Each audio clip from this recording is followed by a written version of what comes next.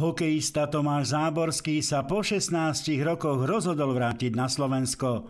Sezónu mal začať v týme Bratislava Capitals, ten ale svoju činnosť ukončil a tak jeho novým pôsobiskom bude Háka Poprad. Som sa musel pozerať viac aj na rodinu, a proste to bol, to bol jeden z dôvodov, prečo som sa chcel vrátiť na Slovensko. Motiváciou je aj dlhodobá túžba po Tatrancov po majstrovskom titule. Predsa len nie som už najmladší a tých šancí možno už toľko nebude, takže uh, určite, určite preferujem týmy, ktoré chcú hrať uh, o špicu tabulky. Záborský si je vedomý, že od prvého zápasu bude pod drobnohľadom hokejovej verejnosti. Ja som na toto zo zahraničia zvyknutý a nemyslím si, že mi to bude robiť problém.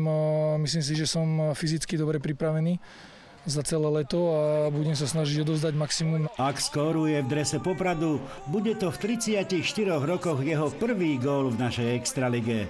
Za Trenčín ešte ako 18-ročný ho pred odchodom do zahraničia nestihol dať. Bol by to prvý, prvý gól a prvý bod a, a veľmi sa na to teším a dúfam, že to príde hneď.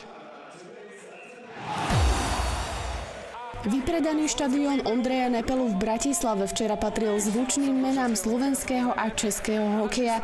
V exibícii pod názvom Legendy sú späť sa proti sebe postavili tým Slovenska, tvorený najmä z majstrov sveta z Jeteborgu 2002 s kapitánom Lubomírom Višňovským a české mužstvo zložené z partie, ktorá sa podielala na olympijskom triumfe v Nagane 1998. Česi pod vedením kapitána Jaromíra Jágra zvíťazili 5-4. Mělo fantastickou atmosféru a jsem rád, že bylo vyprodáno a lidi si užili. Tým, že 6 rokov mimo a posledný rok som toho moc nenakorčuloval a ešte celý víkend bol dosť náročný. Hlava stále fungovala, len to telo a tie ruky to už proste, ja som niečo chcel, ale už som to nedokázal spraviť. V 50, když vidíš, že to může být někdy naposled a, a vzpomínáš na, na ty krásné chvíle, které jsme měli společně v kabinách a já jsem vlastně zažil ještě Československo, takže samozřejmě je to skvělé.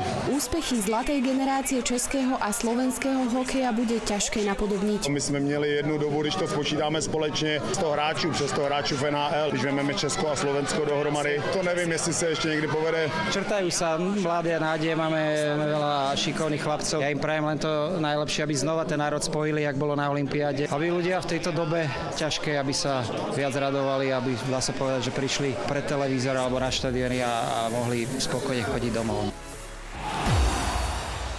Hokejistky Kanady obhájili titul majsteriek sveta. Vo finále šampionátu v Dánsku zdolali rivalky zo Spojených štátov amerických, podobne ako v Lani či na Olympiáde v Pekingu najtesnejším rozdielom. Po dvoch góloch Jennerovej viedli 2-0 a Američanky, ktoré ovládli vzájomný zápas v skupine jednoznačne 5-2, dokázali iba znížiť. Javorové listy tak získali 12. titul v histórii, pričom Američanky 12. striebro. Bronzové medaily putujú premiérovo do Česka.